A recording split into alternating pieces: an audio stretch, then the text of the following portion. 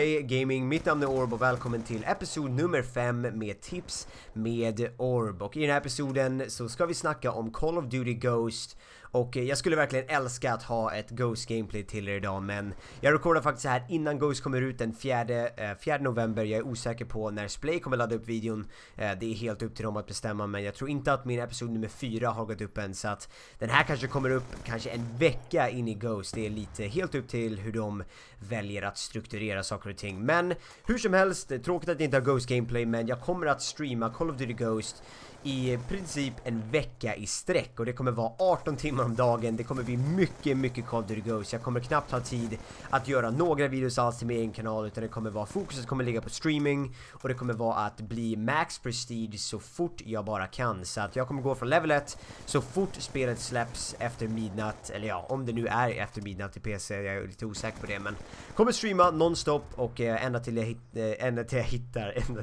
ända till jag träffar på max prestige och jag jag, jag eh, på något sätt har varvat Call of Duty Ghost, kan man säga det? Jag vet inte riktigt om det funkar i multiplayer, men det är i alla fall målet så jag vill göra den här videon lite i preparation för det. Och jag kommer prata lite i den här videon om vad jag tänker på kring Call of Duty Ghost, hur jag tänker på hur jag ska bli en bättre spelare. För den här serien handlar ju absolut om hur du blir en bättre spelare och speciellt när det kommer ett nytt spel, vare sig om det är, ja, som Titanfall som kommer från ingenstans, som är en helt egen eh, egen franchise om man säger så. Medan Call of Duty har ju kommit ut år efter år efter år. Och det finns fortfarande saker och ting som man kan jämföra då mellan alla de här. Och saker man ska tänka på när det kommer ut ett nytt spel. Och den absolut främsta grejen och den som jag verkligen vill lägga mest fokus på idag är att du måste försöka spela med så många olika klasser som möjligt, vare sig om det är uh, en, ja, nu spelar jag med PDW, du måste spela med SMGs, rifles, snipers. Du måste försöka spela med så mycket som möjligt för att hitta först och främst den klassen som passar dig bäst,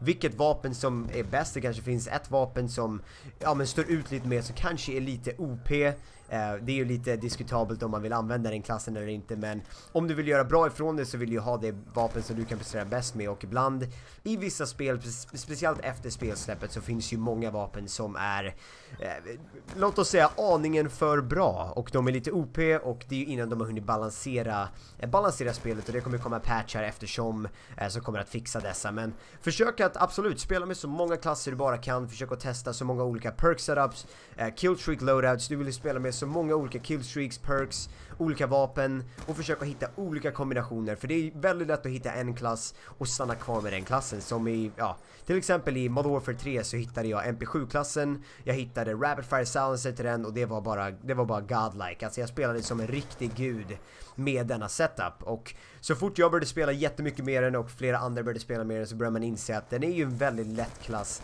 att hantera. MP7 har inte mycket recoil och har du ett, ett ganska snabbt aim, har du Twitch aim så kan du, du kan gå så lös på Modern Warfare 3 med en MP7 och speciellt när du har då, ja, specialist loadout, du får alla olika typer av perks det är också, också väldigt, väldigt intressant. Ja, nu som, och nu är det ju som en ändring i Call of Duty Ghosts också att du kommer inte få alla perks i spelet. Vilket innebär att du, jag tror att du kommer få 11 perks. Det var en kille som, eh, en YouTube-kompis till mig som, som har fått spelet tidigt på Xbox. Och han sa det att det du får är att du får poäng att sätta ut så att du kan få 11 stycken perks.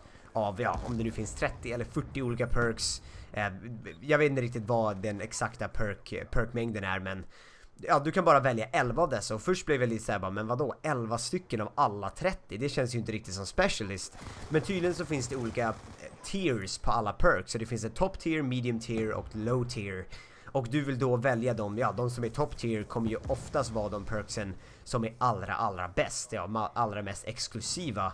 Och det är därför som, ja många säkert kommer köra för dem och det kommer jag absolut Ja, nu vet jag inte exakt hur ja, specialist loadouten fungerar men jag kommer absolut försöka köra på top tier så mycket som möjligt och eh, ja, försöka att även testa runt lite med low tiers, medium tiers och återigen för att bara testa runt saker och ting och inte fastna i en enda loadout som jag kör med hela veckan ut. Men mitt tips till er är att köra så mycket som möjligt, testa så många eh, loadouts som bara, som du bara kan och eh, ja, försök ha så mycket kul som möjligt. Bli inte alltför frustrerad, det kommer säkert vara massa glitchar och buggar i, i början, men det är ju att förvänta när det är ett nytt spelsläpp. Men i alla fall, Nuclear PDW, vi gick väl 50 kills någonting sånt. Eh, jag kollar faktiskt inte på gameplay just nu när, när, jag, när jag recordar här så att lite, lite dåligt av mig kanske, lite dåligt förberedd. Men hoppas ni gillar det i alla fall, hoppas ni gillar Call of Duty Ghost. Ni kan se min Twitch-kanal på twitch.tv slash orb om ni vill kolla in den för alla, alla Eh, streams som vi kommer ha för Call of Duty Ghost och annars kommer ni hitta min länk